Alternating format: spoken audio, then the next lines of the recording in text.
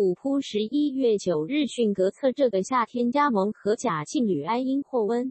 温格策的俱乐部队友马克思入选了最新一期的德国国家队。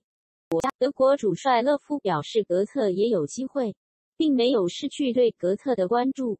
勒夫，我在过去几个月一直和格策保持联系，他告诉我最新的情况。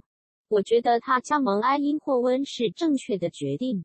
也就是说，在德甲之外重新开始。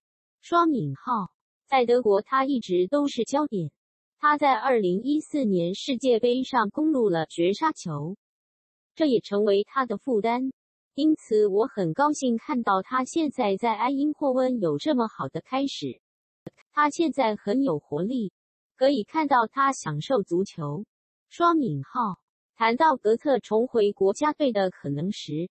勒夫表示：“我们没有失去对他的关注，这是很清楚的。”双引号采访中，勒夫还被问到谁会是下一位德国队主教练。勒夫回答：“这一天总会到来的。为什么不能是一个外国人呢？如果他的理念和德国队合适的话。”的话，双引号。